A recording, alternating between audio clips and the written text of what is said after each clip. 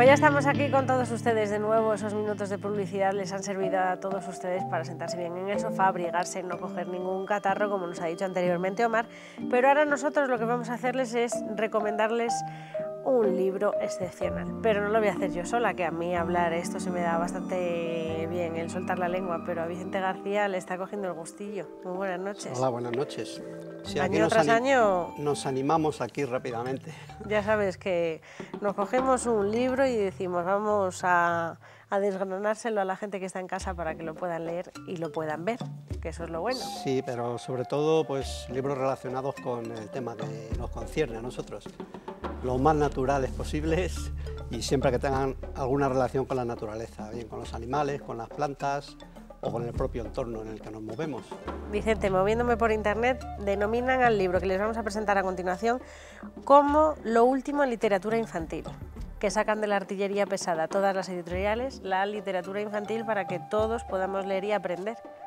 Sí, la verdad es que hay que reivindicar un poco también la literatura. En estos tiempos de tecnología que lo invade a un ritmo desenfrenado, yo reivindico un poco también los libros, es decir, no solamente enseñarle a, los niños y a los mayores, eh, pues literatura a través de las tablets, a, través del móvil, eh, todo el día whatsappeando, que parece que perdemos incluso el, propio contacto entre unos y otros, pues sobre todo a los niños hay que enseñarlos a leer, hay que enseñarles a leer, eh, pero en libro, en papel, eh, que sepan tocar la textura, que yo creo que leyendo un libro es una lectura un poco más sosegada que, a través de una tablet o a través de un ordenador.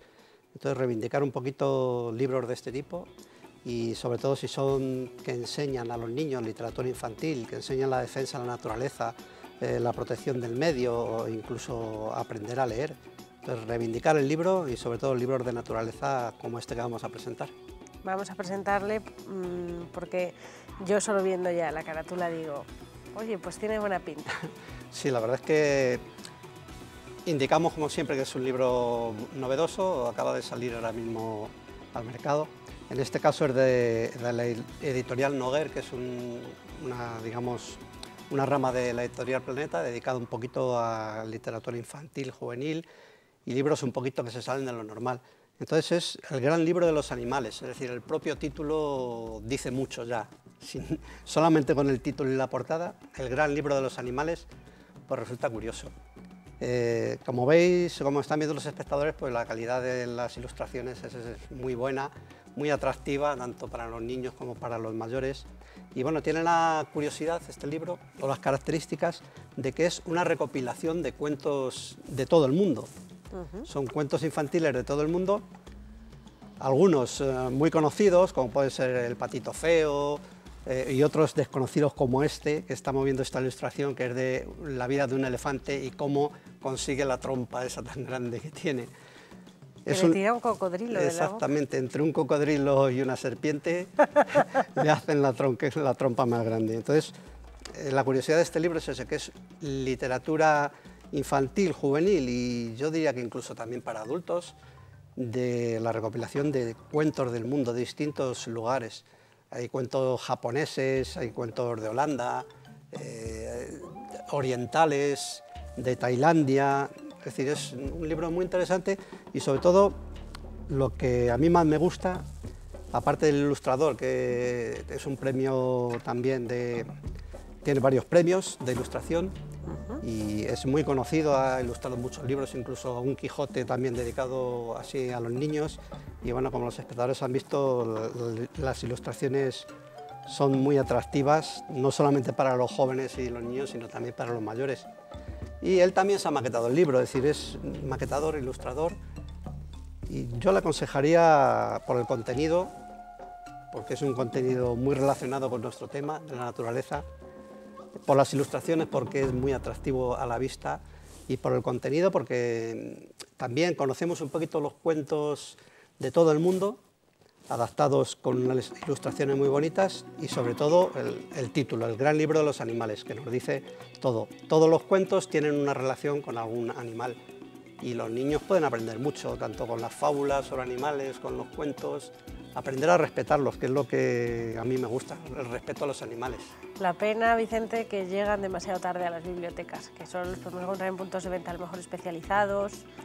Sí, bueno, es una, sí, la verdad es que, bueno, ojalá las bibliotecas pudieran contar con todos los libros que hay. Mm, por suerte, se siguen editando muchos libros nuevos, es decir, a pesar de la crisis, siguen saliendo al mercado libros muy interesantes, como es este que acaba de salir, ahora lleva pues, muy poquitas semanas, y las bibliotecas deberían contar con más libros y hacer un pequeño esfuerzo para que los niños y los mayores nos animemos a seguir leyendo.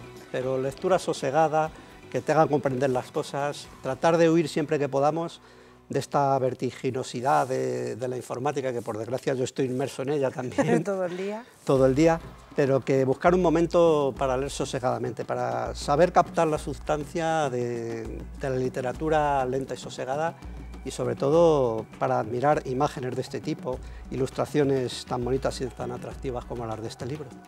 Nosotros intentamos desde Ávilas Así Natural eh, que ustedes se queden tranquilos en casa, que estén en el sofá, pero nos hemos vuelto un poquito guerreros, Vicente, porque este año los hacemos ponerse el chándal, que se levanten del sofá, que retiren un poco la mesa, que se pongan un poquito un espacio adecuado, porque seguimos con los ejercicios terapéuticos chinos, con el chikung.